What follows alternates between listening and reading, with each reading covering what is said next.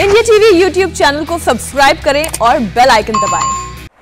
माननीय प्रधानमंत्री जी, जब काशी आते हैं तो हम सब आह्लादित हो जाते हैं, अभिभूत हो जाते हैं। हम उन्हें माननीय प्रधानमंत्री के रूप में या माननीय सांसद के रूप में ही नहीं देखते, बल्कि हम उन्हें अपने अभिभावक और संरक्षक के रूप में भी देखते हैं। और इसीलिए वो हमेशा बहुत सारे उपहार लेकर आते हैं।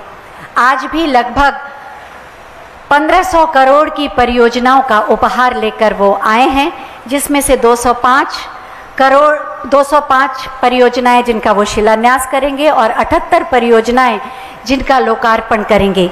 ये सारी परियोजनाएँ शिक्षा, चिकित्सा, स्वास्थ्य, पेयजल, पर्यटन, यातायात, परिवहन, आवास से जुड़ी हैं, जिससे काशी की तस्वीर भी बदलेगी और काशी निवासियों की तकदीर भी बदलेगी। मैं माननीय प्रधानमंत्री जी से बहुत ही आदर के साथ अनुरोध करूँगी कि बटन दबाकर इन समस्त परियोजनाओं का शिलान्यास और लोकार्पण करने की कृपा करें।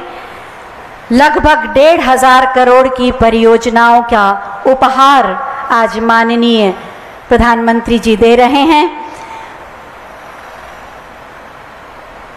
बटन दब गया और बटन दबते ही शिलापट का अनावरण। लगभग डेढ़ हज़ार करोड़ की परियोजनाएँ काशी के विकास और समृद्धि के लिए, जिसमें शामिल है अंतर्राष्ट्रीय सहयोग और सम्मेलन केंद्र, रुद्राक्ष का लोकार्पण भी। हम आपको बताना चाहेंगे, इस कार्यक्रम के बाद माननीय प्रधानमंत्री जी रुद्राक्ष जाएँगे। और वहाँ विधिवत उसका शुभारंभ करेंगे। बहुत बहुत धन्यवाद माननीय प्रधानमंत्री जी। इन समस्त योजनाओं से काशी की तस्वीर और तकदीर तो बदलेगी ही, साथ ही पूर्वांचल क्षेत्र भी विकास से परिपूरित होगा, समृद्ध होगा। इन्हीं योजनाओं के बारे में विस्तृत जानकारी देने के लिए हम सबने एक छोटी सी फ़िल्म बनाई है। आइए देखते हैं।